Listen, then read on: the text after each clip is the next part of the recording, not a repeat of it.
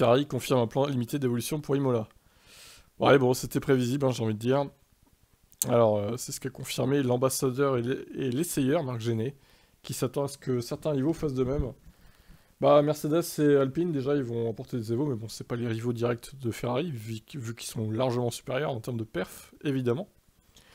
Nous avons décidé de ne pas apporter autant d'évolution, car ce sera une course sprint samedi. Il n'y aura qu'une heure d'essai libre le vendredi, et donc pas beaucoup de temps pour tester de nouvelles pièces. Je ne sais pas comment l'équipe va aborder ça, mais en ce qui nous concerne, nous préférons nous concentrer uniquement sur les réglages le vendredi, lors des essais libres. Là, les qualifs se dérouleront juste après.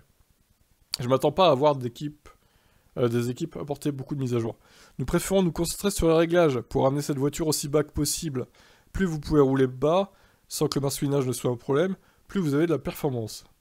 Ouais, effectivement, ça on l'avait bien compris. C'est d'ailleurs bien le problème de Mercedes.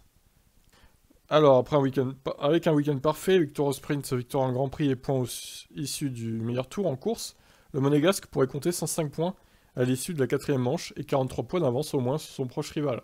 Ce sera un record en F1. J'aime ce scénario, nous sommes très forts, c'est un circuit. C'est un très bon début de saison. Nous n'aurions pas pu mieux commencer, mais Imola sera un circuit complètement différent. Tout d'abord, c'est la première piste européenne, donc ça sera très intéressant de voir si nous pouvons nous maintenir dans cette forme. Il peut pleuvoir, donc c'est euh, donc une variable par rapport à ce que nous avons vu jusqu'à présent. Et nous ne pouvons pas retirer Max Verstappen de l'équation. Il a été très malchanceux jusqu'à présent cette saison. Oui, effectivement, deux abandons en trois courses. On peut pas dire qu'il soit verni. Donc pour la météo, justement, on verra ça ce soir avec les horaires, du coup, comme d'habitude, le mercredi soir.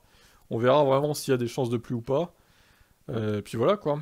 En espérant que tout se passe bien sur ce Grand Prix de Saint-Marin. D'Emilie-Romagne, plutôt. Qu'est-ce que vous en pensez? Ciao